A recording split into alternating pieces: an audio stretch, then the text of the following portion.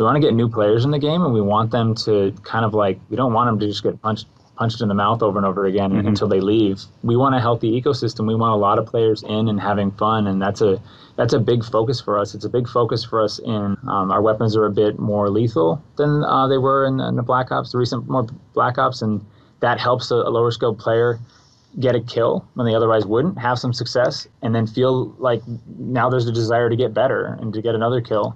Uh, our maps are a little bit more porous, um, and you know we want those players to have a, a safe place to, to take their time to learn how to turn and move and then shoot put those pieces together and then they see someone and be like oh okay now I can do this so yeah it's a big it's a big focus for us La séquence qui vient de vous être proposée est tout simplement une interview de la part du directeur exécutif d'Infinity Ward, Joe Checo ou Checo, je sais jamais comment on le dit. Peu importe son nom, tout simplement, cette personne-là travaille sur Call of Duty depuis Call of Duty Modern Warfare 3 et est devenu directeur exécutif à partir de Call of Duty Infinite Warfare. Son premier Call of Duty étant Call of Duty Modern Warfare 3 jusqu'à l'heure actuelle, Call of Duty Modern Warfare 2, donc on est quand même à plus de 10 ans d'expérience dans le domaine. Mais maintenant tu vas me poser la question, pourquoi tout simplement je te donne toutes ces informations là lorsque je pourrais directement attaquer le sujet de la vidéo? Pour tout simplement se poser cette question, comment c'est possible avec plus de 10 années d'expérience en termes de FPS lorsque aucun studio de développement ne possède, hormis Treyarch, réussir à autant se vautrer la gueule avec ce Call of Duty Modern Warfare 2. Mais avant, n'oublie pas de t'abonner si tu es nouveau et d'activer la petite cloche de notification, parce qu'ici on parle de Call of Duty multiplayer en matière générale, même si de temps en temps j'aime bien faire du Warzone,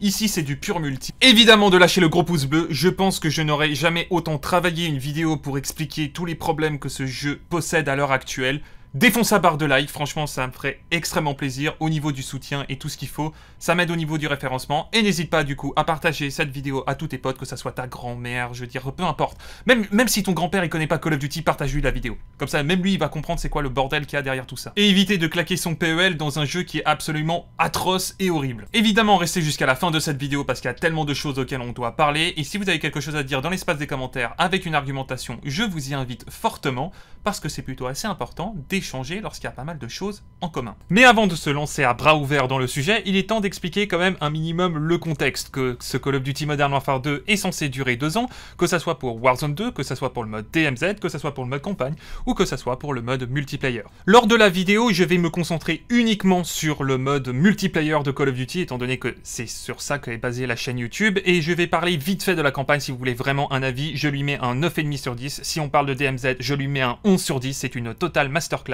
Si je te parlais de Warzone 2 à l'heure actuelle, je lui mets un gros 6 sur 10 en espérant que ça touche un 8,5 sur 10 avec toutes les grosses mises à jour parce que j'ai plus l'impression d'être sur une bêta que sur un Battle Royale totalement terminé, mais pour moi il peut aller très loin et il y a beaucoup de choses que j'apprécie sur ce Warzone. Je vais également pas du tout m'intéresser au mode compétitif de Call of Duty puisque là ça va vraiment être basé sur le pur, pur multiplayer étant donné que je suis un fan de cela et ça fait plus de 10 ans que j'y joue et cela faire en tant que Créateur de contenu, 6 à 7 ans que je suis dessus avec une expérience incroyable, des top classements mondiaux, je n'ai fait que ça. Donc le mode multiplayer, je le connais par cœur. Je dois être encore à l'heure actuelle l'un des seuls tarés du YouTube game francophone à devoir cela donner autant chaque année sur un multiplayer. Sincèrement, je dois être un des seuls gros tarés. À l'heure actuelle, le plus gros problème de ce multiplayer, soi-disant, c'est que ce n'est pas un réel multiplayer. Nous jouons à une extension Warzone 2.0 et ça se ressent de fou pour un certain nombre d'éléments qu'on va en parler tout au long de cette vidéo. Il y a tellement d'éléments qui sont liés à Warzone que même les développeurs ne s'en cachent carrément plus de ne plus faire un multiplayer, mais une extension de Warzone pour Warzone et pour l'argent. Let's do this. En premier lieu, je vais directement attaquer le menu qui est totalement illisible et incompréhensible. Alors oui, effectivement, il va y avoir prochainement une refonte totale des menus, mais on est quand même en 2022 et il faut essayer d'arrêter de tout vouloir tout changer. On est sur Call of Duty, il y a des choses qui fonctionnent, qui ont toujours super bien fonctionné dans la licence, et vouloir absolument tout changer sous prétexte de vouloir révolutionner Call of Duty, un Modern Warfare de révolution, ça ne sert à rien. Quand ça fonctionne, quand c'est simple et quand tout est lisible, je ne vois pas l'intérêt d'essayer de changer un menu. Il y a 50 000 onglets pour des futilités lorsque tout peut être simplifié en un seul onglet qui rajoute d'autres onglets. De nouveau très simple, je vais vous balancer Call of Duty Black Ops Cold War, c'est à l'ancienne, c'est simple, tu veux, Vanguard, même la même chose pour Modern Warfare 2019. C'est simple, c'est clair, c'est lisible, peu importe, même les anciens Call of Duty, Il suffit juste de mettre les bons anglais aux bons endroits. Pourquoi devoir essayer de comprendre le menu pendant 3 heures lorsqu'il suffit juste de créer sa classe et lancer une game? Pourquoi faire compliqué il faut très clairement un diplôme Bac plus 10 pour absolument tout comprendre. Et des jours après, j'ai même appris certains featuring qui existaient encore dans le jeu. Je me suis dit, bon, au bout de 3 heures dans le menu, j'ai tout compris. Eh ben non, je redécouvre encore des nouvelles choses. Au niveau des armes et du feeling du gameplay, bah c'est plutôt assez fidèle aux valeurs de Modern Warfare 2019. Le jeu est vraiment très plaisant et c'est une des très grandes forces qu'il y avait déjà sur l'ancien Modern Warfare et encore plus dans ce Call of Duty là, étant donné qu'il fait plus arcade que réaliste. Sans parler des armes qui sont vraiment du pur fanservice, je veux dire Scarache, la Bullfrog en l'occurrence, la PP90, peu importe son terme, la P90, la Hog, la K47, la M4, la MP5. C'est vraiment basé sur du pur fanservice et honnêtement, même si effectivement il y a quelques problèmes au niveau euh, de l'équilibrage des armes, c'est plutôt assez kiffant et ça fait plaisir en tant que fan de la licence Call of Duty. C'est d'ailleurs à l'heure actuelle l'un des rares très bons points positifs de ce jeu, parce que honnêtement il y a tellement de points négatifs qu'il faut quand même ressortir cet extrême point positif. Honnêtement, et ça je sais que c'est objectif parce que certaines personnes qui sont pas forcément fans, mais l'arbre des armes est super intéressant, ça veut dire que si tu commences avec la K47, après tu as la 545, ensuite tu tombes sur la K74U qui peut te donner la Vaznek. Ça, j'ai trouvé ça juste génial. Je trouve ça juste insane comme système. Par contre, l'autre système pour que tu dois jouer avec certaines armes, pour avoir des accessoires, etc., honnêtement, c'est à chier. C'est à chier. Si je ne veux pas jouer avec un sniper parce qu'il est pourri et j'ai pas envie de m'énerver sur le jeu tout de suite, bah je suis clairement obligé sur ce Call of Duty de jouer avec des armes auxquelles je n'ai pas envie de jouer maintenant. J'ai peut-être envie de jouer plus tard avec ces armes-là, monter le camouflage or, mais me forcer à jouer avec une arme sous prétexte d'avoir directement euh, ces accessoires-là, ça ne m'intéresse pas et c'est forcer la communauté à jouer avec des armes qu'on ne souhaite pas et je ne veux pas être forcé à faire cela. Je vois effectivement qu'est-ce que Infinity Ward a essayé de faire avec ce Call of Duty, d'essayer de forcer la communauté à jouer avec toutes les armes, de tester toutes les armes, de découvrir le jeu, mais le problème c'est que quand tu mets justement plus tard un des points négatifs avec le skill based matchmaking et que quand tu as de grosses statistiques sur le jeu, bah tu te fais plus punir qu'autre chose d'essayer de tester de nouvelles armes parce que les armes sont absolument pas méta et que certaines le sont complètement. Ah, les maps. Bah, on a connu Modern Warfare 2019 qui était le pire Call of Duty en termes de maps, donc le jeu était totalement injouable dû à ça, c'est d'ailleurs pour ça que je déteste Modern Warfare 2019 avec d'autres raisons. Et qu'en est-il de ce Modern Warfare 2 alors, il y a déjà très peu de maps en 6v6, donc c'est déjà mal barré à ce niveau-là. Je crois qu'en plus on a retiré justement la map du musée, euh, qui est plutôt... Euh, c'est un peu dommage, parce qu'en vérité elle était plutôt assez sympa dans certains modes de jeu, mais c'est une catastrophe dans l'ensemble, parce qu'en réalité, il y a quelques maps qui correspondent au système des trois couloirs, et que la moitié des autres maps ne correspond pas de nouveau au système des trois couloirs. En vérité, c'est un faux système de trois couloirs. Et là, comment tu vas le savoir? Eh ben parce que je vais te l'expliquer, et ça s'appelle de la mapologie, et il semblerait que Infinity Ward a besoin d'une leçon de quelqu'un qui joue depuis plus de 15 ans à Call of Duty, et qui a besoin de leur expliquer comment ça marche réellement Call of Duty. Je vais donc commencer à prendre des maps de Call of Duty Black Ops Cold War qui ont été reprises de Call of Duty Black Ops 2, leur expliquer pourquoi ça fonctionne sur Call of Duty Black Ops 2, et pourquoi ça ne fonctionne pas sur les Call of Duty d'Infinity Ward depuis justement Modern Warfare 2019. Parce que c'est plutôt assez marrant, parce que le dernier Call of Duty auquel Infinity Ward a été bon en termes de map, ça reste quand même Call of Duty Infinite Warfare. Et oui, Call of Duty Infinite Warfare, euh, ceux qui ont bien craché dessus, mais en attendant, il y avait des maps juste incroyables comme Pré 5, Throwback, Grounded, et il y en a encore plein d'autres comme Horizon qui étaient juste insane comme map et qui respectaient du début jusqu'à la fin le principe des vrais trois couloirs. Là, on n'aura même pas de trois couloirs et je vais devoir l'expliquer. Je pense que si tu es un fan de la licence Call of Duty, tu as très vite reconnu à quoi correspondait cette map. C'est Raid de Call of Duty Black Ops 2 qui a ensuite été remis sur Call of Duty Black Ops Cold War avec aucune modification. J'ai donc mis la map comme si on était en domination avec le point A, le point B et le point C. Rien de bien nouveau. Alors, c'est possible que je me sois trompé entre le point A et le point C, je sais jamais réellement qui est qui. Et leur position est bonne. Chaque carré correspond à un couloir bien spécifique. Le côté orange, le côté gauche, le bleu au milieu, et à droite le côté mauve. On peut remarquer évidemment qu'il y a un lien de connexion entre le couloir de gauche avec le milieu et évidemment le milieu qui te permet d'accéder au couloir de droite ou au couloir de gauche. À ce que je sache, c'est pas si compliqué que ça. Et maintenant on va pouvoir attaquer le côté essentiel de cette vidéo. Dans chaque couloir, vous avez trois possibilités différentes. Le milieu, à gauche ou à droite, ce qui justement multiplie les différents déplacements possibles, mais toujours assez logique par rapport au spawn de vos adversaires. Ces trois possibilités vous amènent à trois directions un peu différentes, mais qui restent toujours au niveau de ce couloir et qui permettent toujours à vous en tant que joueur de pouvoir mieux vous déplacer et de toujours pouvoir attendre correctement ou de anticiper votre adversaire au bon moment et au moment opportun qui était l'un des plus gros points négatifs de ce Call of Duty Modern Warfare 2019, étant donné qu'on ne pouvait pas savoir où on allait et qu'il y avait trop de possibilités, et de possibilités également à ton adversaire de te choper par derrière, sur le côté, et qu'il y avait trop de spots possibles par rapport à ça. Il se peut effectivement que sur certaines maps des anciens Black Ops ou des nouveaux Black Ops, qu'on se retrouve avec 4 possibilités, mais généralement c'est en termes de spots, et évidemment je vais devoir vous le montrer. Au niveau de cet extrait, ça va être très simple. Je vais demander à mon pote de se mettre à un certain endroit pour justement vous montrer les différences qu'il y a par rapport à lui et par rapport à moi. En étant sur le côté, il y a donc trois possibilités par rapport à mon adversaire. Au niveau de la maison, là où je me situe. Ensuite, en haut, en visant sur le côté du top. Évidemment, je pense que vous connaissez tout ce spot. Et il y a le dernier spot auquel seuls les vrais tryhards connaissent, avec un petit spot auquel on peut choper la tête. Rien de bien compliqué, évidemment. Je vous refais la même expérience sur le côté de justement de raid. Je demande à mon pote de se mettre à un certain endroit. Et moi, en attendant, je vais vous montrer toutes les disponibilités possibles de tuer mon adversaire à ce moment-là. La première possibilité vient du middle, auquel on peut quand même s'amuser à chercher avec un head glitch. Le deuxième, ça peut être le jacuzzi. Et le troisième, évidemment, ça peut être également ici. Sauf qu'en vérité, les développeurs de Shin Treyarch ont été quand même plutôt assez intelligents de mettre justement le jacuzzi et le head glitch ici au même niveau. Comme ça, justement, quand ça te permet de viser, et si quelqu'un débarque, eh ben c'est beaucoup plus facile de tuer la personne. Donc en réalité, c'est deux spots qui sont fusionnés en un seul spot. Évidemment, le troisième spot, je vous le connaissez tous si vous avez déjà joué sur Red, c'est le top, évidemment, qui vous permet d'avoir une vue d'ensemble sur tout le côté du couloir et qui vous permet d'enchaîner des kills en cas de cas de bavure. Et pour, et pour terminer, le dernier spot, c'est le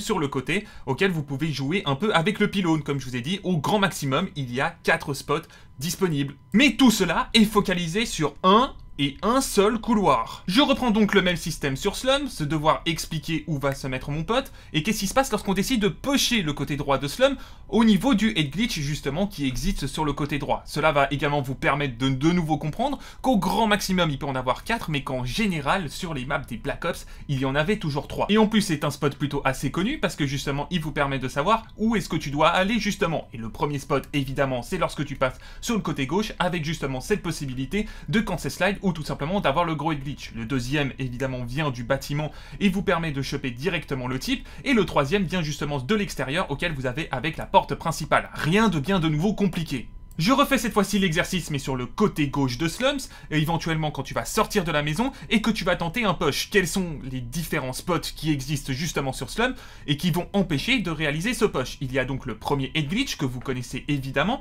Il y a également au fond une autre possibilité avec ce même head glitch là, mais de nouveau tu le vois au niveau du spot qui est juste devant toi. Il y a justement ce spot là qui ne fonctionne pas justement pour empêcher cela les voitures ne sont pas mis pour rien, et évidemment, il y a un troisième spot venant du middle. De nouveau, rien de bien compliqué, trois spots au grand maximum, quatre dans certaines maps, et c'est extrêmement rare. Je refais exactement le même exercice sur Moscou, je tape un rush sur le côté gauche, quelles sont les disponibilités pour me tuer justement à si je suis à la position de mon pote, ou est-ce que je peux me faire descendre? Et il y a de nouveau trois possibilités, le côté droit au niveau vraiment de l'extrême droite, le sort de middle, un peu on va dire ça comme ça, avec le head glitch, et si quelqu'un vient du middle à gauche avec l'escalator? De nouveau trois possibilités par rapport à un seul endroit. C'est bon, je pense que t'as compris Allez, on attaque cette merde de Modern Warfare 2 en termes de map. Bon, on est donc sur Modern Warfare 2, et on est sur la map Farm 18. Donc qu'est-ce qui se passerait si je spawnerais d'un certain, certain spawn ou tout simplement que je décide de taper un rush pour essayer de flanquer mes adversaires?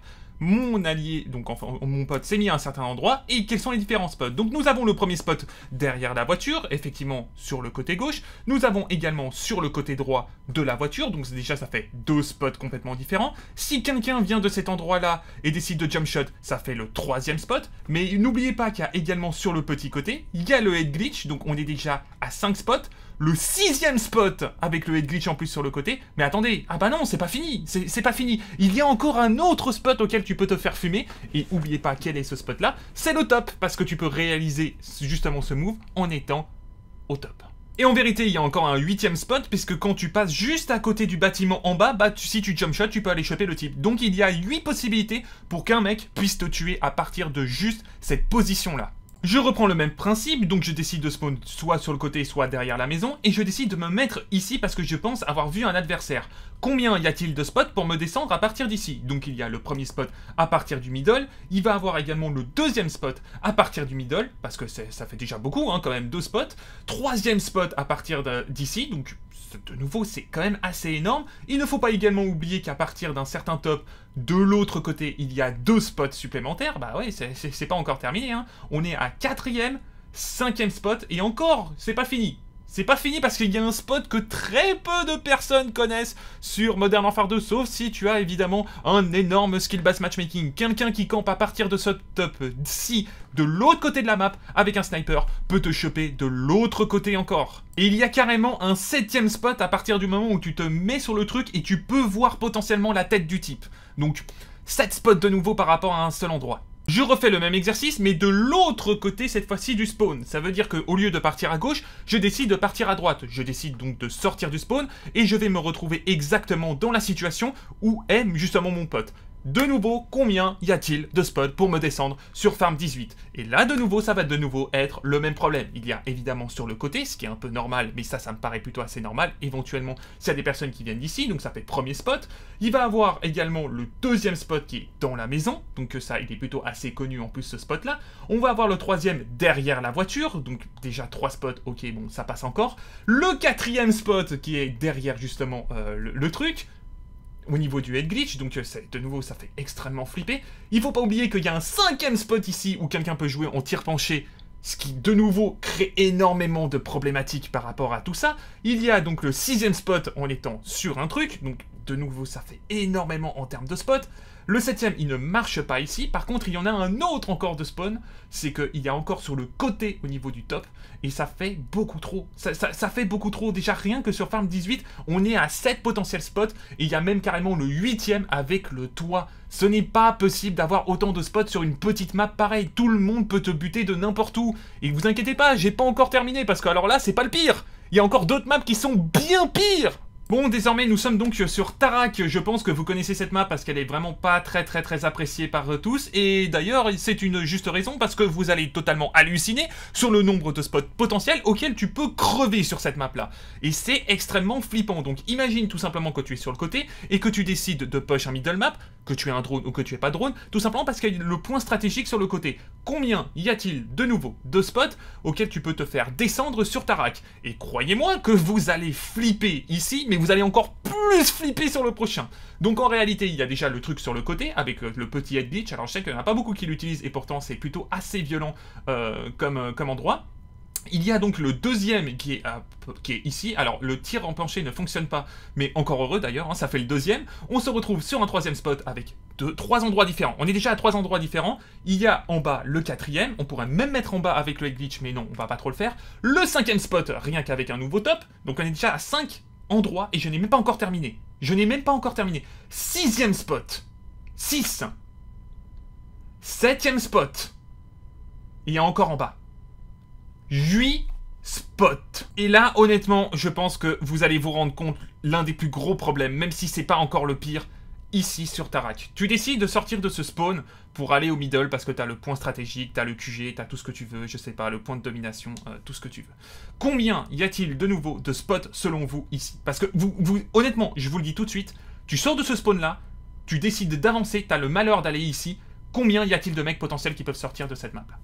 Euh, je, crois que vous allez totalement hurler de savoir exactement le nombre de spots qu'il y a. Surtout sur une map comme ça qui n'a pas été travaillée et qui n'est de nouveau pas sur un système de trois lignes. Nous avons donc le premier spot ici sur le côté gauche, l'extrême gauche. Nous avons donc sur le côté droit au niveau du muret et effectivement vu qu'il y a encore de la place sur le côté droit, nous avons ici. Je pourrais même m'amuser à faire le top. En vérité, j'en ai encore oublié un juste derrière la maison. Ça fait 4. Ici, nous avons donc le cinquième spot. Nous avons de nouveau le middle sur le côté. Ça fait 6 spots. Nous sommes déjà à 6 spots et j'ai même pas encore tout attaqué. Il y a encore également en bas et en haut. Mais là, on va directement attaquer en haut. Septième spot ici, avec le huitième sur le côté, parce que c'est pas exactement la même chose. Donc 8 spots ici. Il suffit encore de descendre au niveau du bâtiment auquel on va avoir encore deux nouveaux spots. Donc un qui est en head glitch et un qui est open. Donc ça fait 10 spots. Nous sommes à 10 spots déjà désormais juste pour cet endroit-là. Je vais pas compter le deuxième glitch parce que c'est à peu près la même chose. Nous avons également l'autre bâtiment, donc ça fait 11 spots pour choper un mec de l'autre côté parce que c'est pas encore fini. Ah bah non, c'est pas encore fini, voyons quand même. Donc nous avons également le 12 spot derrière le tank, et nous avons également derrière la voiture, ce qui fait 13 spots. Nous avons également le top en haut qui va arriver environ jusqu'à 14 spots pour descendre juste un mec qui sort d'un spawn. Et il ne faudra pas oublier également les débris en bas, juste en bas à gauche, avec un sniper auquel tu peux choper. Donc il y a exactement 15 putain de spot pour un mec sur Call of Duty Infinity Ward, allez vous faire foutre Nous allons prendre Hôtel, et c'est dommage parce que c'est une des maps que j'apprécie le plus, mais qui de nouveau a été fait selon justement parce que c'est joli graphiquement, parce que c'est joli l'environnement, etc. Et n'a pas été faite dans les meilleures conceptions d'une réalisation correcte Call of Duty. Je décide donc à mon pote de se mettre ici et d'expliquer tout simplement quelles sont les disponibilités quand je tape un rush au niveau du middle et combien de personnes peuvent éventuellement me spot à partir du moment où je vais faire exactement ce mouvement-là, je sors du spawn et je décide d'attaquer au niveau du middle map, combien y a-t-il de spots au niveau du spawn ennemi pour me descendre? Et de nouveau, vous allez flipper à mort parce qu'il y en a beaucoup trop Donc premier spot évidemment sur, au niveau du head glitch, nous avons le deuxième spot au niveau du head glitch, nous avons également de nouveau un head glitch ici, ça fait trois head glitch, nous avons encore derrière avec une autre possibilité de head glitch, on est donc à 4 spots pour descendre quelqu'un, il ne faut pas oublier qu'il y a les fonds de map auxquels on peut choper quand même quelqu'un, nous sommes donc à 5, 5 spots, il y a également le truc qui est un poil devant quand même, mais c'est plus pour les snipers, on va pas quand même se cacher, mais c'est plus pour les snipers, sixième, septième spot. On est déjà à 7 spots et on n'a même pas sorti encore du spawn. C'est quand même assez impressionnant. 7 spots. Nous avons encore le middle à partir du moment où nous avons sur le côté, donc ça fait 8 spots. Nous avons même pas encore terminé parce qu'il y a le sur le côté, ça fait 9 potentiels spots pour te descendre. Nous avons également le gigatop tout en haut, ça fait 10 spots pour te descendre. Nous avons encore sur le côté, au niveau de l'autre top, si tu viens à l'autre top, 11 spots. Et on peut encore descendre au niveau du head glitch parce que c'est toujours pas terminé. C'est quand même assez incroyable qu'il y ait autant de spots pour pouvoir tuer quelqu'un. C'est un problème, ce n'est pas possible Infinity Ward. Et là tu te rends compte que tout le monde s'est fait avoir, même Gameblog s'est fait avoir pour avoir mis les maps à trois couloirs. Tout le monde s'est fait avoir. En fait, je peux même pas en vouloir à Gameblog de dire cela. Donc du coup, Infinity Ward, vous êtes des... Blé... Ro Enfin bref, les maps auxquelles nous jouons sur Modern Warfare 2 ne sont pas des réelles maps Call of Duty. C'est des maps pour vous habituer à Warzone et c'est bien pour ça que les maps que vous jouez en multiplayer sont présents sur Warzone et sont des régions de Warzone. Parce qu'à l'initial, ce n'est pas des maps multiplayer ce qu'on joue. C'est des maps Warzone. C'est pour vous habituer justement au Battle Royale et non justement au multiplayer. Alors effectivement, il y a quelques-unes de maps qui sont plutôt assez, intéressantes. Mercado est l'exemple typique d'une map qui est plus dans le, dans le délire Call of Duty en vérité. Donc il y a quand même des choses assez intéressantes, mais en matière générale, les trois quarts des maps, c'est des maps pour Warzone, ce n'est pas des maps multiplayer.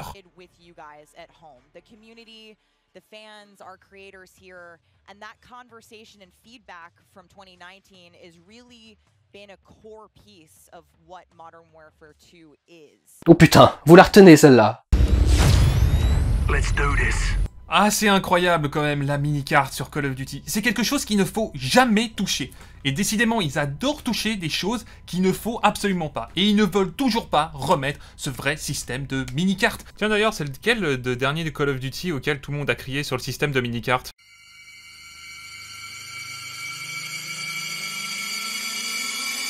And that conversation and feedback from 2019 is really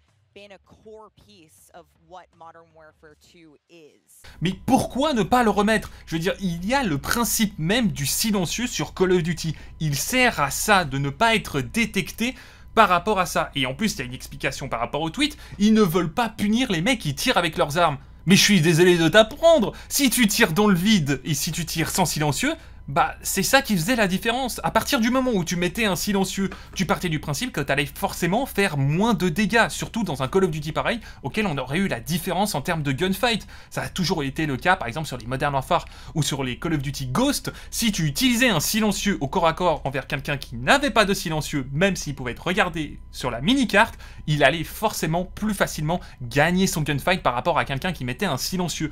Donc, à quoi ça sert de vouloir enlever ce système de mini-carte qui est là plus pour aider les campeurs plus qu'autre chose, parce que visiblement, lorsque quelqu'un ne sait pas où aller, quelle est sa première réaction? Bah c'est camper, c'est attendre son adversaire, ce qui est normal. Tandis que si tu mets un point rouge par rapport à un point où est situé l'autre, par exemple si moi je tire à un endroit, je n'ai pas de silencieux, généralement les gens vont faire quoi? Ils vont essayer de venir me pusher et il y aura du gunfight. Et c'est logique. C'est absolument logique. Let's do this. It's a big change. It's interesting. Yeah, you know, perks haven't really been touched for a long time in the series. Alors, le système d'atout, si vous avez vu le petit clip avant, euh, ils ont décidé de le changer. Alors, je suis plutôt assez mitigé parce que je vois du positif comme du négatif. Partons déjà sur le positif, c'est qu'à partir du moment où je joue une game et je balance directement un drone, quelqu'un qui aurait choisi Phantom dès le début, bah je ne pourrais pas le voir du tout. Et vu que Phantom est très souvent utilisé sur le multiplayer des Modern Warfare à mon grand regret, bah je verrai absolument personne. Malheureusement, le côté négatif, c'est que quand je veux tour de passe-passe, j'aimerais bien avoir tour de passe-passe dès le début de la game, surtout dans un jeu aussi lent que Modern Warfare 2, j'aimerais bien pouvoir recharger plus rapidement. Donc je ne comprends pas à quoi il sert ce système-là sur Modern Warfare 2, parce que de nouveau c'est un système créé de nouveau pour Warzone 2, parce que ce système-là ne peut pas tenir sur un pur multiplayer, rien n'a été créé intelligemment. Et de nouveau, ils disent qu'ils veulent révolutionner le système d'atouts. Mais messieurs, chez Infinity Ward, vous l'avez fait? Vous l'avez fait sur un certain Call of Duty. Il se nomme Call of Duty Ghost, mais vu que Call of Duty Ghost n'a pas fonctionné, vous avez décidé de ne pas reprendre ce système-là. Pour ceux qui ne savent pas de quoi je parle, le système d'atout de Ghost était très clairement la masterclass. Vraiment, quand je parle de masterclass, c'était une masterclass jamais atteinte dans l'histoire de Call of Duty. C'est-à-dire que tu pouvais choisir tous les atouts que tu veux, sauf que c'est limité à niveau des points. Ça veut dire que si tu décides de prendre des atouts avec très peu de points, tu pouvais en mettre encore plus d'atouts, mais généralement c'était des atouts pas si intéressants que ça et pas si importants que ça. Par contre, il y avait d'autres atouts qui étaient super importants et qui prenaient beaucoup plus de place. Ce système d'atouts-là permettait d'avoir une infinité de possibilités avec les atouts et de pouvoir choisir la meilleure des classes lors de certaines games. Et c'était ça qui était cool avec Ghost. Autant on a beau cracher sur Ghost, c'est un système d'atouts, là, qui était pour le coup révolutionnaire. Quelque chose qui était tout nouveau dans la licence et qui, à l'heure actuelle, devrait être repris là, de ça. Mais bon, la seule chose qu'Infinity Ward a décidé de reprendre de Ghost, c'est les tirs penchés quand même dans cette histoire. Ah, si vous voulez quand même faire les bonnes choses, Infinity Ward, reprenez quand même le système d'atouts de Ghost. Ça serait bien pour tout le monde, quoi. Et puis merde, sur Ghost, t'as des atouts qui te permettaient d'être en série beaucoup plus facilement et d'enchaîner les kills lorsque t'étais en très grosse série, rien qu'avec les atouts spécialistes. Tu te retrouvais avec œil de lynx, tu, tu calais des deux balles à tout le monde. Je veux dire, c'est un système que je veux revoir sur Call of. Pourquoi on peut pas l'avoir de nouveau, ce système-là? Pourquoi c'est pas possible? Mais ça, on va revenir un peu plus tard d'ailleurs. Ensuite, en atout, pourquoi j'ai pas Dead Silence? Non, je suis désolé, je, je, veux Dead Silence, et certains vont dire ouais mais ça serait trop cheaté. Mais encore heureux en fait que je puisse avoir Dead Silence. Je décide de rusher, je veux rusher. Mais maintenant ils font des explications, de disant qu'il faut punir les joueurs agressifs. Mais pourquoi tu veux punir les joueurs agressifs? En fait, j'ai l'impression qu'ils essayent de se lancer dans une croisade contre les mecs qui s'amusent à rusher et à slayer à mort. Qu'est-ce qu'on a fait de mal en fait? Genre, qu'est-ce qu'on a fait de mal? Parce que je me considère dans ce genre de, de, de personnes. De personnes agressives qui adorent jouer agressif. Veux dire, sur Cold War, c'était génial d'avoir Dead Silence. Si l'autre n'avait pas Dead Silence en face, c'est son problème, c'est pas le mien Il a décidé de choisir dans de telles conditions et d'être entendu de tous. C'est son problème. Le problème dans un jeu pareil, auquel le son est super fort, et on va en reparler un peu plus tard, mais je veux quelque chose pour le contrer ce truc, et pas juste attendre un certain délai pour pouvoir push. J'aimerais pouvoir push quand je le souhaite, à n'importe quel moment. C'est ce qui va justement créer de l'intérêt et de l'interaction avec un gameplay un poil plus agressif. Mais ça, ils ne veulent pas. Ils ne veulent pas ce côté agressif. Et justement, en parlant de strike, on va attaquer directement ce point-là, le nouveau système de strike fait par Infinity Ward, auquel, bah, il y a un point super positif, c'est choisir entre kill strike et score strike. Comme quoi, Infinity Ward, de temps en temps, putain, vous avez des idées de génie. Mais malheureusement, comme vous aimez tellement foutre la merde, le drone est complètement buggé, ou tout simplement c'est volontaire de votre part, puisqu'il a un délai de 1 seconde et avec un mauvais balayage. Ça veut dire que quand tu tues quelqu'un, des fois quand tu l'as tué, bah, vu que le balayage est encore présent, bah, on voit encore le point rouge une seconde après la mort du type. Surtout, le drone amélioré, comme on a parlé avant avec œil de lynx, c'est un putain de scandale. Dont un drone amélioré, c'est un putain de balayage. Je veux voir les gens constamment, c'est déjà assez compliqué comme ça d'essayer de taper des séries nucléaires, essayez pas de nous rendre la tâche plus compliquée avec un skill bass matchmaking aussi présent. Ce n'est pas possible ce que vous nous demandez là. Et surtout qu'on voit même pas les mecs en fantôme. On voit pas les mecs en fantôme. Et puis merde, on est en 2022, bientôt 2023 c'est quand que vous allez remettre le système que vous avez créé sur Modern Warfare 3 qui permet d'avoir autant de strikes que je souhaite en une seule vie? Je veux dire, non, ce n'est pas possible d'avoir juste un drone amélioré pour taper une nucléaire, surtout en solo avec un matchmaking pareil. Ce n'est pas possible ce que vous nous réclamez, Infinity Ward. Réfléchissez deux secondes. Ça se voit en fait que vous voulez créer un code anti-pump stomp, mais laissez-nous au moins la possibilité de le réaliser en solo, même si c'est déjà assez compliqué. Là, c'est limite impossible. C'est une chatte de lobby. C'est de la chance, limite. C'est pas possible de continuer à persister dans un système qui date depuis Black Ops 1. C'est la dernière fois qu'on l'a vu sur Black Ops 1 et on l'a revu sur Modern Warfare 2019. Mais c'était une connerie sur Modern Warfare 2019. C'est un des pires aspects du jeu en plus. Non, on ne veut pas revoir ce système-là. Rebalancez-nous à la Black Ops Cold War. Alors, évitez cette fois-ci de... On peut euh, avoir toujours nos strikes quand... enfin, notre série de strikes sachant qu'on est mort. Mais au moins d'avoir un système qui nous permet d'avoir autant de drones améliorés que je sois. C'est-à-dire drones, drones de brouillage, drones améliorés. Hop là, en mode Black Ops 2. Allez, c'est parti. On enchaîne, on enchaîne, on enchaîne. Là, ça redonnerait de l'intérêt.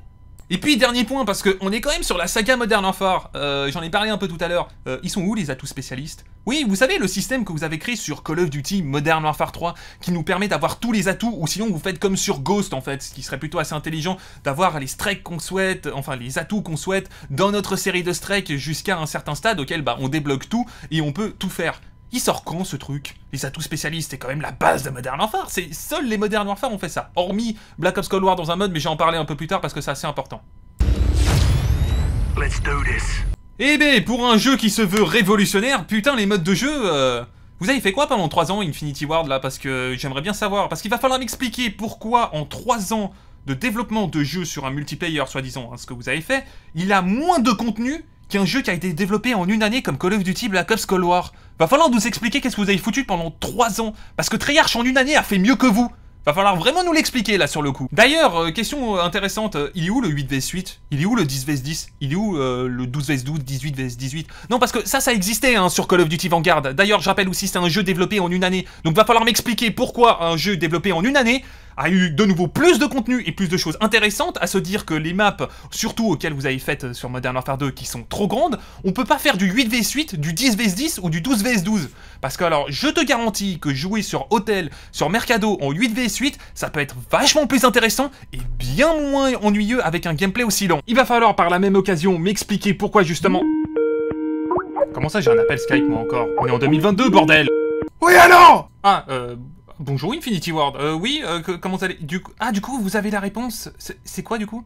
Treyarch, Charles the King Ouais, bon, on sait que depuis euh, 10 ans, vous êtes incapable de faire un bon Call of Duty, donc désormais, on est quand même habitué. Bon, maintenant, j'ai quand même une question. Comment ça se fait que justement, depuis 10 ans, vous êtes toujours incapable de comprendre comment ça marche réellement des spawns? Ah bah tiens, comme à l'image de leur serveur, tout bug chez eux. Et ensuite, il est où le tournoi de VS2 Parce que, alors, au moins ça c'était intéressant sur Modern Warfare 2019. De temps en temps, t'as bien envie d'un téléphone, tu te dis, allez, je vais faire un petit tournoi de VS2 et tout, etc. Il est où le tournoi de VS2 Inexistant. Il n'existe plus. Ah bah d'accord, bah, bah, tant pis, écoute. Hein. L'un des rares points positifs de Modern Warfare 2019, c'est la guerre terrestre. J'en étais fou, c'est bizarre, c'était en mode Battlefield, mais en mode Call of Duty. Alors les tanks gâchaient un peu le truc, mais autant la guerre terrestre de Modern Warfare 2019, c'était un putain de masterclass. Là, vous avez fait tout faux. Tout, tout ce qu'il fallait pas faire dans la guerre terrestre de Modern Warfare 2, vous l'avez fait tout faux. C'est quand même incroyable d'avoir fait tout juste sur un Call of Duty et tout faux sur un autre. Oh putain, et là on va attaquer sur le pire des trucs. Oh là là, ça va être le plus gros coup de gueule de la chaîne. Alors si tu connais sur cette chaîne, je suis un joueur domination. Je m'amuse à chercher le top 10 mondial, je fais que ça. Limite chaque année, je suis toujours dans le top 10 ou top 20 mondial, sauf Vanguard parce que j'ai vite abandonné certains aspects du jeu. Mais à chaque fois, que ça soit Black Ops 4, Black Ops 3, Modern Warfare 2019, ou que ça soit justement euh, Black Ops Cold War, je suis quasiment toujours, au moins au minimum, dans le top 50 mondial domination. C'est le mode que j'ai le plus saigné de toute la saga. Eh ben Infinity War, tu vas bien m'écouter attentivement, va te faire foutre tu vas aller te faire foutre d'avoir démoli la domination. Pour ceux qui ne connaissent pas le problème qu'il y a en domination, il y a cette putain d'animation qui est juste horrible de réanimation. Vous ne l'avez pas en QG, vous ne l'avez pas en hardpoint, vous ne l'avez pas dans les autres modes, mais vous l'avez qu'en domination. Réanimation qui te demande 4 secondes évidemment, et en plus de ça, si tu as le drone amélioré et que tu réussis à faire une bonne game en domination, c'est que si tu regardes la killcam, et en plus de ça tu as le délai de réanimation, tu te retrouves entre 9 à 10 secondes de réapparition en domination. Ça veut dire qu'à n'importe quel moment que je suis en série nucléaire et que je balance un drone amélioré qui est déjà bien pété comme ça, le mec, toute l'équipe en face, si elle voulait s'amuser à m'empêcher de réaliser la nucléaire, elle passerait pas les killcams, elle utiliserait le délai de réapparition, et qu'en 20 secondes, je pourrais faire que 5 kills Infinity Ward va te faire enculer À quel moment, Infinity Ward, vous vous êtes dit que vous avez respecté la communauté domination sur chaque Call of Duty? C'était exactement le même problème avec Modern Warfare 2019, et vous nous chiez dessus de nouveau avec Modern Warfare 2. On veut le retour de la domination, déjà que vous nous chiez dessus au niveau du système de spawn. En domination, remettez-nous le vrai système domination. C'est une insulte à la saga Call of Duty. Et sans parler évidemment que les maps, déjà qu'on en a parlé un peu avant, elles ne sont pas adaptées au mode domination. Rien n'est adapté. Donc c'est déjà un problème en soi, les maps domination de Black Ops 2, les maps domination de Call of Duty Black Ops Cold War sont adaptées au mode, elles sont adaptées à la domination. Qu'est-ce que vous nous faites Infinity War Genre, vous, voulez vraiment saccager la domination? Je ne vois que ça. Évidemment, le système de spawn, on va en parler un peu plus tard parce que c'est de nouveau un putain de scandale là-dessus, mais parlons d'une chose à la fois s'il vous plaît quand même. Oh désolé pour l'insulte, mais oh putain ça fait... Oh, je l'ai sur le cœur depuis un mois. Fallait que ça sorte, fallait que ça sorte maintenant. Mais bon, à un moment donné, Infinity War, si vous avez toujours pas compris que votre jeu, il ne doit pas être seulement jouable dans des modes spécifiques, parce que ça aussi c'est un truc assez important. Pourquoi Tout simplement que je suis obligé de partir en hardpoint, en QG, ou tout simplement rechercher destruction pour prendre du plaisir à votre jeu. Il y a un problème de base, il y a un énorme problème. Quand je joue à Call of Duty Black Ops Cold War, je peux jouer en MME, EC, Hardpoint, Démolition, Domination. Je peux même jouer des modes qui ont été lâchés, qui sont super sympas. Dropkick est super fun. Alors oui, un peu de SBM, mais effectivement, c'est sympa, Dropkick. Il y a eu Démolition qui était juste insane. Et en plus, on a eu un mode incroyable. Genre, d'ailleurs, j'aimerais bien qu'ils le remettent peut-être sur Modern Warfare 2 ou peut-être ce sera sur le prochain Black Ops. Le point stratégique infernal de Call of Duty Black Ops Cold War. En gros, c'était une fusion entre du point stratégique, du mode enragé et en plus de ça, avec tous les atouts spécialistes. C'est-à-dire que tu faisais des kills, t'avais des atouts supplémentaires. Ça veut dire que plus t'étais en série, plus t'étais avantagé, plus tu pouvais courir, et plus tu pouvais faire du giga et faire des extrêmes carnages. Mais c'est des modes comme ça qu'on veut sur Call of Duty. C'est des modes insane qu'on veut voir comme ça. Et puis même, il est où le jeu d'armes? Genre, ok, d'accord, le jeu d'armes. Caillou et bâton, c'est où? Genre, une, une balle, un mort, c'est où? Ça, n'existe plus dans Call of. Ah d'accord. Il n'y a, pas de problème en Call of Duty. Et pour terminer, un des meilleurs modes de Modern Warfare 2019 parce que ça incitait les gens justement à rusher et qu'on pouvait rusher beaucoup plus vite, ce qui rajoutait un gameplay plus agressif que la normale parce que Modern Warfare 2019 est le gameplay le plus long entre Black Ops Cold War, Vanguard et justement MW 2019. C'est le plus long de, toute cette saga. On peut m'expliquer où est le mode enragé, s'il vous plaît, messieurs? Parce que, alors, ça aussi, ça vient de Call of Duty Ghost. C'est une masterclass, le mode enragé. J'adore ce mode-là. Il est insane. Où est le mode enragé Je veux ce mode-là. Et qu'on commence pas à me dire, ouais, mais tu sais, il y a le mode troisième vue, etc. Alors déjà, le mode troisième vue de Modern Warfare 2 existait déjà à l'époque, d'accord? Ils ont juste repris un featuring pour essayer de prendre les personnes pour des pigeons par rapport à l'époque et vous faire choper par la nostalgie. Et en plus de ça, il n'y a, rien de nouveau. En fait, c'est les mêmes modes, juste que t'es en troisième vision. Il n'y a rien de nouveau, d'accord? Il n'y a rien de nouveau, il n'y a pas d'intensité supplémentaire, il n'y a rien, d'accord? C'est sympa, je dis pas le contraire, franchement, je dis pas le contraire. C'est sympa, c'est un point positif, mais c'est pas quelque chose de nouveau. Les nouveautés en termes de mode, c'est des trucs en mode recherche et destruction. Mais je m'en fous de ça, je veux un vrai mode d'incarnage. C'est pour ça aussi que je veux sur le multi.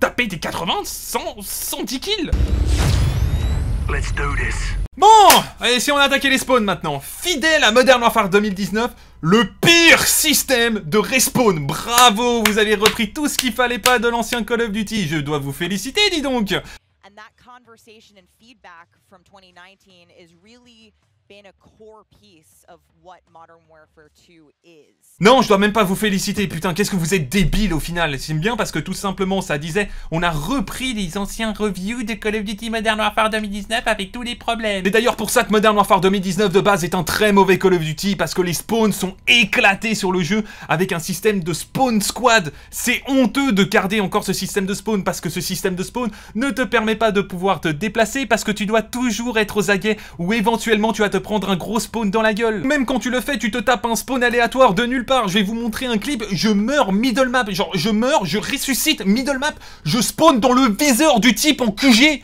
En QG on, se réveille, Infinity Ward, on commence à travailler, on arrête d'être un peu trop sur le BR, on commence à travailler les spawns. La domination, comme je l'ai dit, c'est un foutage de gueule, c'est un énorme foutage de gueule. Les points pris en domination ont une logique. Si je prends A et je prends B et que les adversaires ont C, mes adversaires sont censés spawner sur C. Mais dans ce putain de jeu, à partir de n'importe quel moment, quelqu'un peut spawn sur A. Et toute l'équipe, vu, que c'est du putain de spawn squad, qu'il y en a un qui est sur A, toute l'équipe va respawn sur A Non La logique voudrait que tout le monde respawn sur C, comme sur Call of Duty Black Ops Cold War. D'ailleurs, c'est pour ça que c'est la meilleure domination qui ait jamais existé depuis Call of Duty Black Ops 3. Parce que Treyarch est assez intelligent de remettre l'ancien système de spawn de Call of Duty Black Ops 2. Mais vous, Infinity Ward, ah non, on va essayer de révolutionner Call of Duty. Ouais, on va changer un peu la domination, on va mettre des spawns un peu partout. Oh putain, mais vraiment, et franchement, Infinity Ward, faut vraiment arrêter de faire des multiplayers des fois. Hein. Pourquoi il faut des spawns fixes? Eh ben, c'est totalement logique. Pourquoi il le faut? Parce que tout simplement, ça va nous aider à nous développer, à savoir nous déplacer correctement sur le, jeu, sans forcément qu'il y a toujours un mec qui spawn derrière nous, qui nous flanque à la dernière seconde en disant Ah merde, ok, d'accord, il y avait là, et puis la prochaine tu vas regarder, et ben non, de nouveau c'est de l'autre côté. Ça n'a pas de sens, laissez-nous le spawn fixe. Alors je demande pas le giga spawn fixe en mode euh, Allez, on peut taper du spawn trap, je dis pas ça, mais de toute façon, quoi qu'il arrive, qu'il y ait du spawn aléatoire en mode spawn squad, qu'il y ait du spawn fixe, quoi qu'il arrive, à un moment donné, il y aura toujours une phase de spawn kill. Donc pourquoi vouloir essayer d'empêcher cela? Parce que quoi qu'il arrive, et même avec ce système de spawn squad, tu peux te retrouver dans des situations où généralement quand t'es en groupe, tu peux réaliser des spawn kills trois fois plus violents que s'il y avait des spawns fixes. Que tu les mettes dans des modes de jeu comme la MME ou le C, c'est logique, mais pas en domination. Pas également en QG, il faut que ça soit logique du début jusqu'à la fin. On va pouvoir attaquer désormais le système de camouflage et de prestige. Donc si vous ne connaissez pas le système de camouflage, mais je pense que si tu joues à Modern Warfare 2, tu dois être au courant, il y a donc le camouflage or, le camouflage patine, le camouflage orion et le camouflage polyatomique. En soi, ils sont plutôt assez beaux. Évidemment qu'ils sont assez beaux, vu que c'est Treyarch qui les a fait et c'est pas Infinity Ward. Et quand également au niveau des prestiges, alors ça n'a pas été dit, mais je peux te garantir que c'est Treyarch qui les a fait, parce que quand tu regardes le dernier logo disponible au niveau 250, tu vois bien que c'est un prestige de Call of Duty Black Ops Cold War qui a été repris, donc on sait très facilement, et vu le design de comment ont été faits les trucs, que c'est Treyarch qui a été aux commandes au niveau du prestige, et que ça a été également le cas au niveau des camouflages, parce qu'on sait très bien que Treyarch au niveau des camouflages, c'est les kings, et que visiblement Infinity Ward n'a jamais été capable de refaire correctement un camouflage, sauf quand on reprend le principe de Treyarch. Ah bah oui, le seul dernier beau camouflage euh, de Infinity Ward, c'est en l'occurrence Infinite Warfare en reprenant le Dark Matter de Call of Duty Black Ops 3. Toutes mes félicitations, monsieur, même s'il est magnifique, je n'ai rien à redire quand tu es euh, sur l'espace sur Terminal. En attendant, tu n'as rien créé de nouveau depuis, et c'est toujours Treyarch qui doit venir te sauver la peau en termes de camouflage. D'ailleurs, ça explique aussi quelque chose qui est assez important et qui va expliquer tout le problème de Modern Warfare 2, une dépendance totale de Treyarch. Maintenant, je te dis que tu enlèves les prestiges de Treyarch et tu enlèves les camouflages de, euh, justement, de Treyarch sur ce multiplayer de Infinite Warfare, qu'est-ce qui reste sur le multiplayer? Bah, il reste rien il ne reste rien et c'est flippant de se dire que sans cela, il n'y aurait pas de contenu ou quasiment contenu sur le multiplayer de Modern Warfare 2 et ça montre à quel point que Activision est dépendant de Treyarch pour réaliser du contenu sur un multiplayer. Parce qu'il faut savoir que prochainement le mode ranked de Call of Duty Modern Warfare 2 il va être fait de nouveau par Treyarch. Et bah ouais et ben ouais parce que Infinity Ward ne s'occupe pas de son multiplayer. C'est Treyarch qui doit essayer de rajouter du contenu sur le multiplayer de Modern Warfare 2 magnifique dis donc. Waouh c'est Treyarch qui doit encore s'en occuper. Dis donc Infinity Ward tu ferais déjà mieux de régler ton Warzone 2 et éviter de nous dire que Call of Duty Modern Warfare 2 va être révolutionnaire parce que là à l'heure actuelle avec déjà tous les points que j'ai attaqués tu n'as rien révolutionné lui et d'ailleurs en parlant de ça il y a déjà eu un leak de la prochaine map de la saison 2 de Call of Duty Modern Warfare 2. D'ailleurs, c'est bizarre que personne n'en a parlé dans les leaks, mais c'est la première fois qu'une map d'un autre Call of Duty, d'un autre studio de développement, va apparaître sur un autre Call of Duty qui ne lui appartient pas. Et c'est là où tu t'attends à la hype, tu te dis putain, ça va être un retour exceptionnel, peut-être une map de Call of Duty Black Ops 2, peut-être une map de Call of Duty Black Ops 1. Qu'est-ce donc? Je suis hypé Ah ouais, d'accord. Vous, vous, rapportez Castle de, de World at War.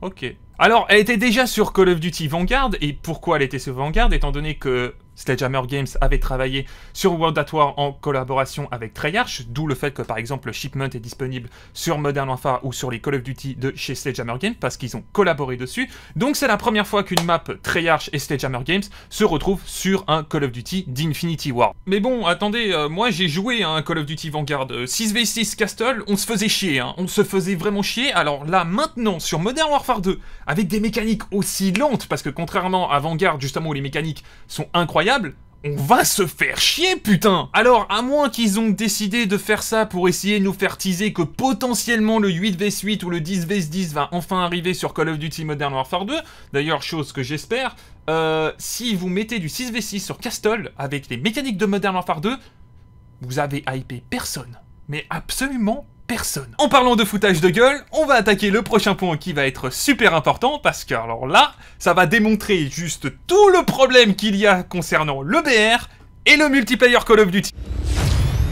Let's do this. Bon, parlons de la nucléaire et ce qu'on appelle la performance en matière générale. Alors, la nuque, contrairement à Call of Duty Black Ops Cold War et Vanguard, c'est que tout est fait en sorte pour que tu puisses quand même la réaliser, même si le skill-based matchmaking est plutôt assez violent. Surtout sur Cold War, il est plus violent sur Call of Duty Vanguard, mais au moins, on va dire que tout est fait en sorte pour que tu puisses quand même la réaliser. On peut m'expliquer pourquoi sur Modern Warfare 2, avec tous les points que j'ai énumérés avant, qui te foutent plus souvent dans la merde qu'autre chose, la nuque est quasiment irréalisable en solo avec tout ce que j'ai situé, et vous décidez de garder la bombe nucléaire à 30 À 30 kills non mais vous demandez beaucoup trop là Infinity Ward, genre, il n'y a pas un testeur, bon après peut-être vos testeurs de jeux vidéo ont 0,5 ou 0,6 de ratio, et ça c'est leur problème au final, si les mecs ne savent pas jouer à Call of Duty, mais à partir du moment où tu mets un skill-based matchmaking trop violent, des spawns complètement éclatés et d'autres problèmes, à un moment donné il va falloir quand même réfléchir à se dire, on va peut-être changer la bombe de nucléaire de 30 à 25, surtout lorsque tu as droit qu'à une série d'éliminations, une série!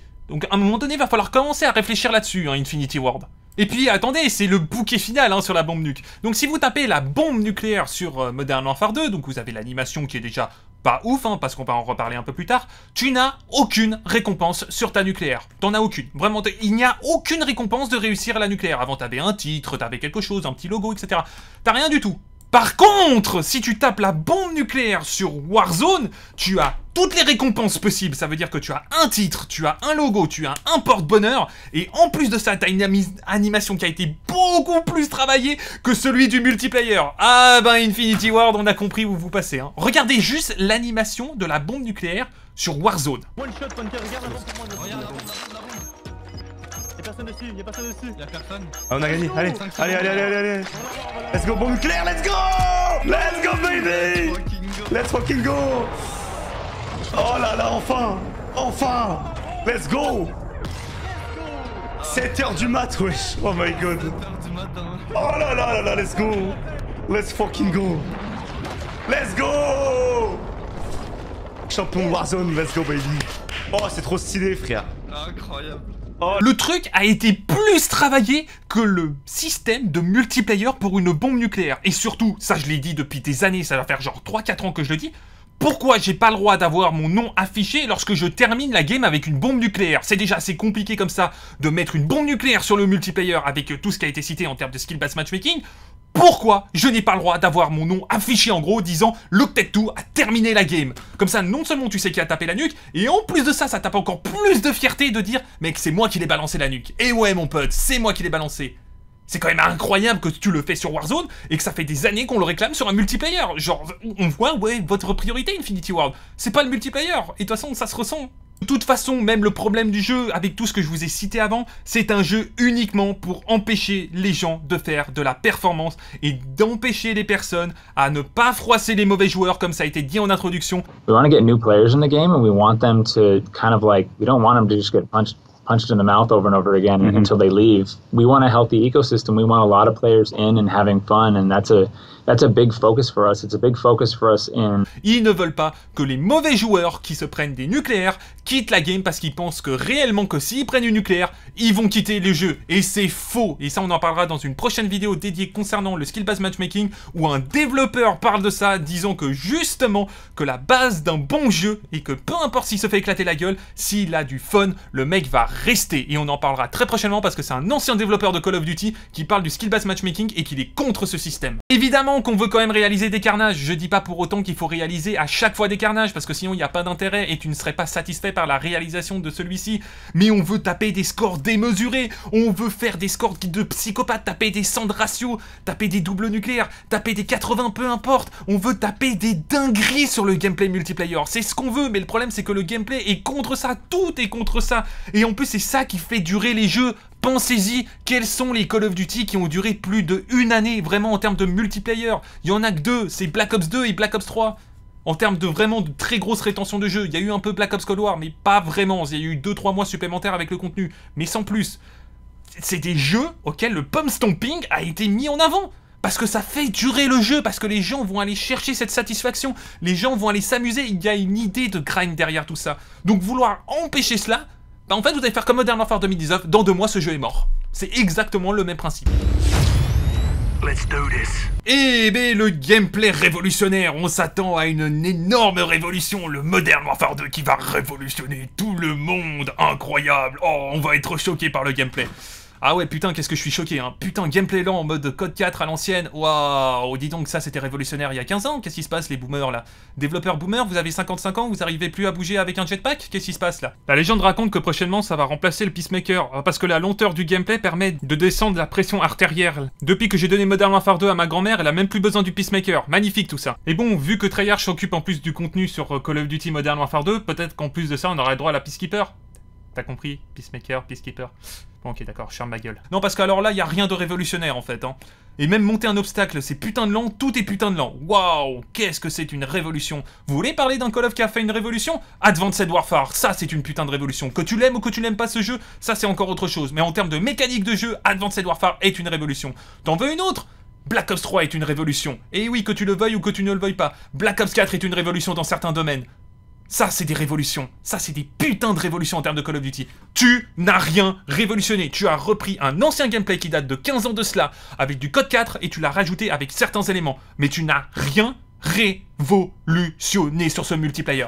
Rien Niente L'aim assist n'a jamais été aussi forte Excellente idée ça d'ailleurs, mettez une aim encore plus puissante sur Black Ops Cold War. J'adore Black Ops Cold War, vous savez là-dessus, je suis le premier à le dire par contre que l'aim assist est beaucoup trop forte là-dessus, et que ça aurait, ça aurait dû être nerf, surtout avec certaines armes, mais euh, c'est beaucoup trop fort là. Je veux dire, il y a même pas besoin...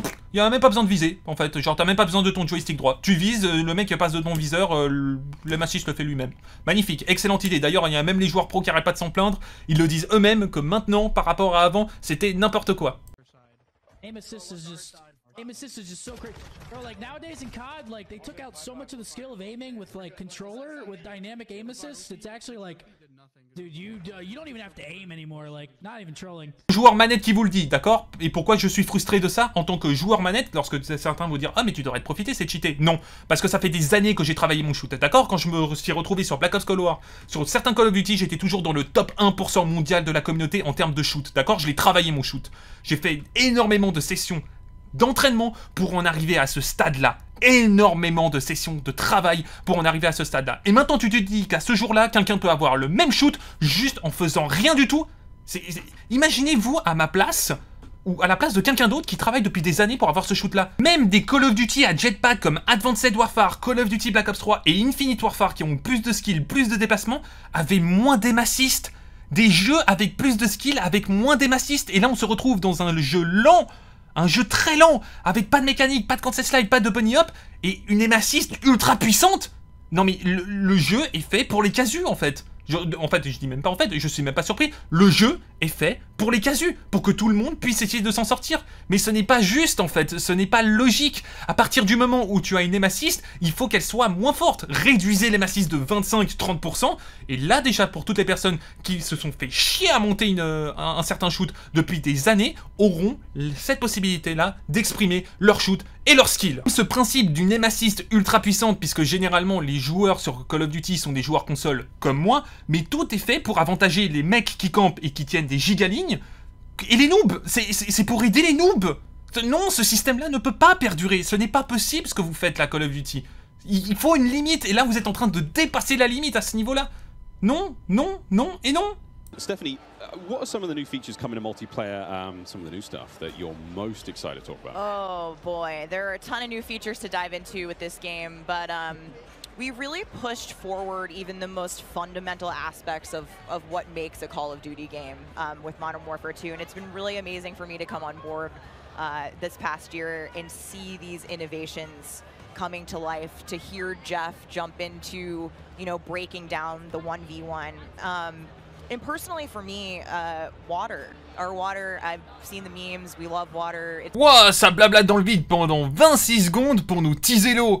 Oh putain, quelle nouveauté incroyable Je suis sur le cul, je suis tellement choqué Non, je le suis pas, c'est sarcastique, ça existait déjà sur Call of Duty Black Ops 3 et Call of Duty Black Ops 4. Même le premier BR, Blackout, avait justement le système de l'eau. Waouh, quelle nouveauté incroyable Vous nous prenez vraiment pour des cons On en a gros. Le TTK, donc c'est la vie, la vie est plutôt assez faible, alors ça, ça me dérange pas trop en vérité, parce que j'ai connu Call of Duty Ghost, euh, mais le problème, c'est pas ça. Que tu aies une vie faible, c'est une chose. La régénération de la vie, elle, est trop lente. On se retrouve vers euh, généralement du 8 à 10 secondes en termes de régénération. C'est beaucoup trop lent. Il faut vraiment changer ce système. Alors tu vas me dire qu'il y a un atout. Oui, mais l'atout, faut l'attendre. Hein, par rapport au système que je vous ai dit avant, il faut attendre d'avoir régénération rapide. Oui, mais j'ai pas envie d'attendre d'avoir régénération rapide. J'ai envie de l'avoir dès le début, moi, régénération rapide. Comme ça, je peux rusher dès le début. Mais bon, le problème, ce n'est pas ça. C'est que un tiers des armes, et j'ai calculé, hein, un tiers des armes de ce jeu peuvent one-shot. T'as les snipers, les fusils tactiques, t'as le putain de shotgun, ce qui est encore normal. Mais le problème, c'est que t'as encore les pistolets et t'as encore les fusils de compas. Et encore, t'as certains fusils d'assaut, des fois avec la castove, de temps en temps, ça peut te one-shot. Le problème, c'est qu'il y a trop de trucs, il y a trop d'armes qui peuvent te one-shot. Alors c'est normal qu'un pompe puisse te one-shot, c'est normal qu'un sniper puisse te one-shot, mais ça, on va en parler un peu avec euh, le fusil tactique. Mais pourquoi le Deagle réussit à one-shot Je me suis déjà fait one-shot par un Deagle dans le genou droit, lorsque j'avais pas perdu de vie. Un Deagle Allô, on se réveille, genre je peux me faire one shot dans le crâne, mais pas dans le genou droit, faut se réveiller un moment c'est exactement le problème que je vous ai montré avec les spots au niveau des maps, c'est qu'à partir de n'importe quel moment, quelqu'un qui peut être au mauvais endroit, au mauvais moment, avec l'arme qu'il lui faut entre les mains, peut te one-shot à n'importe quel moment, c'est un problème. Il faut un équilibrage des armes au niveau du TTK, parce que là, ce n'est plus possible. Le problème déjà d'une vie basse, et ça on le sait tous, tous les anciens de Call of Duty vous le diront, les vies basses, c'est fait pour les mauvais joueurs, parce que tout simplement, c'est plus facile pour eux de réaliser des kills, comme ça a été dit en introduction, et c'est même le directeur de de, de Infinity War qui l'a dit, qui fait exprès de faire des vibas pour que les noobs puissent faire des kills. And then feel like now there's a desire to get better and to get another kill. Uh, our maps are a little bit more porous, um, and you know we want those players to have a, a safe place to, to take their time to learn how to turn and move and then shoot, put those pieces together, and then they see someone and be like, oh, okay, now I can do this. So. C'est une réalité, c'est eux qui le disent, c'est eux-mêmes qui le disent. Et c'est un problème. Le jeu n'est pas difficile pour les bons joueurs, mais il est trop facile pour les mauvais joueurs. Tout leur est accordé dans ce système-là. Tout est fait justement. En fait, comme je dis, c'est un Call of Duty casu. Tout est fait pour les aider en fait. Alors, ce qu'il faut savoir, c'est que de base, j'aurais dû parler en plus de ça du skill-based matchmaking, du netcode Call of Duty et en plus du son. Mais le problème, c'est que si je me lance dans ce sujet, et en plus j'ai déjà tous les fichiers audio, j'en arrive pour 25-30 minutes et ça en vaut très clairement pas la peine. Autant en parler dans une autre vidéo, sachant qu'on est bientôt à une heure de vidéo juste sur Call of Duty Modern Warfare 2. Et surtout, j'ai pas envie de bâcher tout le travail que j'ai réalisé et vulgariser le skill-based matchmaking et le netcode en 5 minutes, c'est quasiment impossible tout le monde ne va pas forcément comprendre, et généralement les gens sur Call of Duty ne comprennent déjà pas le principe du skill-based matchmaking, comment il fonctionne réellement. Quand je vois des atrocités via Twitter, c'est juste insupportable, donc je préfère attaquer correctement le skill-based matchmaking, le netcode et le son. Pour terminer justement ce Call of Duty Modern Warfare 2, il n'a réellement aucune ambition en termes de multiplayer et à l'heure actuelle les priorités c'est très clairement Warzone 2 et le mode DMZ bizarrement qui commence déjà à avoir des nouveautés avec le nouveau raid qui va débarquer très prochainement. C'est assez bizarre d'ailleurs de vouloir partir dans ce délire là et à se poser la question si c'est pas une tentative d'essayer euh, de rivaliser face à Destiny 2 suite au fait que justement Destiny s'est cassé de la licence Activision donc il y a quand même pas mal de choses assez étranges par rapport à ça. Infinity Ward, à l'heure actuelle, n'a démontré aucune imagination, aucune chose nouvelle lors de cette nouvelle licence. Et c'est quand même assez incroyable d'en avoir fait autant la promotion, disant que ce Call of Duty Modern Warfare 2 allait révolutionner le multiplayer, lorsqu'en réalité, il n'a strictement rien révolutionné. Tout ce que je vois dans ce multiplayer, je l'ai déjà vu sur les anciens Call of Duty, et surtout que c'est déjà les Black Ops qui les ont inventés avant même que les Modern Warfare décident de les implémenter dans leur jeu. C'est très pauvre en termes de contenu, c'est très pauvre en termes de mouvement, tout est pauvre sur ce multiplayer. Et est-ce que ça vaut vraiment la peine à l'heure actuelle de vous dire en tant que joueur ou tout simplement euh, quelqu'un qui a envie de jouer à un jeu vidéo, est-ce que ça à l'heure actuelle ça vaut réellement 80 ou 90 balles et jouer tous les jours en termes de multiplayer Honnêtement ça ne les vaut pas du tout. Si vous voulez vraiment jouer à un vrai Call of Duty, tu veux vraiment jouer un vrai Call of Duty derrière ton écran? Bah jouer à Call of Duty Black Ops Cold War. Là tu vas comprendre qu'on se fout pas de ta gueule, que la communauté a été énormément écoutée sur Call of Duty euh, Black Ops Cold War, que Treyarch est aux commandes et d'ailleurs comme vous avez vu en termes de contenu,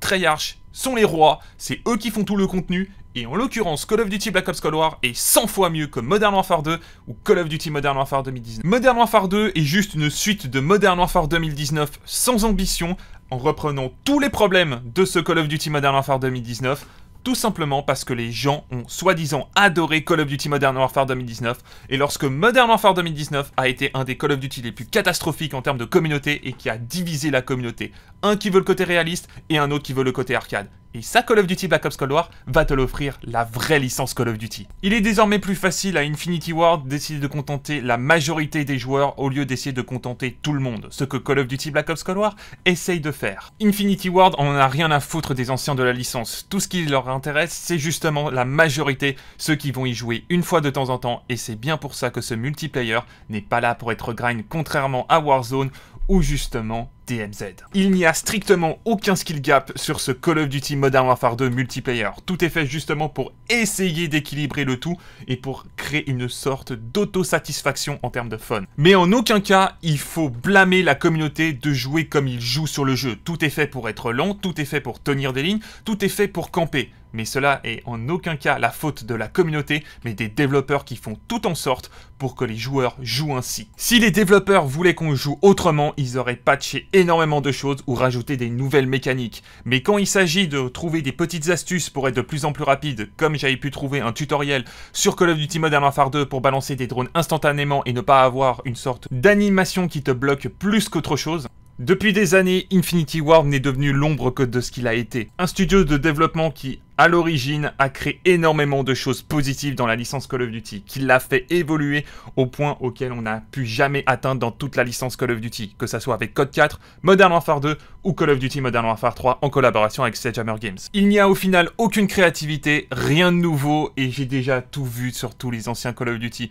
Et en plus de ça, il reste encore un manque de contenu cruel. Pourquoi il n'y a pas de map enneigée comme j'ai pu avoir sur Call of Duty Black Ops Cold War? Pourquoi je n'ai pas pu avoir une map qui sort de l'ordinaire comme Mayhem sur Call of Duty Vanguard qui est juste incroyable. Et désormais tout se ressent, puisque Warzone 2 à l'heure actuelle est un énorme flop. Et ça c'est plutôt assez drôle de voir ça, étant donné qu'ils se sont tellement focus sur Warzone 2 que maintenant ils commencent à comprendre peut-être qu'ils vont devoir faire des réelles modifications sur leur multiplayer, sur DMZ sur Warzone 2. Peut-être que désormais Infinity Ward va désormais essayer de comprendre une chose. Call of Duty Black Ops Cold War et Call of Duty Vanguard, même si tu les apprécies pas, sont des multiplayers indépendants de Warzone. Même si effectivement les armes que vous avez connues sur ces Call of Duty débarquent sur Warzone. Mais en attendant, ils n'étaient pas faites pour Warzone. Elles étaient faites avant tout pour le multiplayer et ensuite retransmis sur Warzone. D'où le fait que, justement, Raven avait énormément de problèmes lors des mises à jour de prendre les codes fichiers des armes sur Vanguard, sur Call of Duty Black Ops Cold War pour les transplanter sur Warzone 1. Honnêtement, je ne ferai que des vidéos en termes de mise à jour qu'il y a sur Modern Warfare 2 parce qu'il n'y a désormais aucun fun et la seule façon d'essayer de prendre du fun sur ce Call of Duty, c'est de, de River Boost. Et je ne vois pas l'intérêt de River Boost sur ce jeu-là lorsque je n'ai pas eu besoin de le faire sur Call of Duty Black Ops Cold War ou Call of Duty Vanguard pour réaliser des doubles triples nucléaires ou même plus évidemment, ou prendre tout simplement du plaisir à monter mes camouflages. Ce jeu veut être pour les noobs, pour les casus et les aider un maximum sur un multiplayer. Et il n'y a aucun intérêt à grind ce genre de multiplayer, hormis de la frustration et s'énerver à chaque fois et devenir absolument toxique. Et cela tombe assez bien étant donné que je voulais faire des concepts depuis un bon moment et Modern Warfare 2 m'en donne l'occasion de enfin pouvoir les faire sur la chaîne YouTube. Sur ce, je vous laisse. Si t'es resté jusqu'à la fin de cette vidéo, n'hésite pas à mettre Cold War dans l'espace des commentaires, comme ça je saurai toutes les personnes qui sont venues et pas de hashtag Cold War parce que sinon vous allez tout faire bugger. Mettez juste Cold War, lâchez le gros pouce bleu si ce n'est pas déjà fait et on se retrouve très prochainement pour une toute nouvelle vidéo sur YouTube. Et je vous dis bye et à la prochaine. Peace out Attends, t'es toujours pas abonné là? Bah tu t'abonnes, primo. Deuxièmement, tu lâches un like et ensuite tu me follow sur les différents réseaux sociaux. Hein, que ça soit Twitter, Instagram, tu fais la totale. Et t'oublies pas de checker les autres vidéos.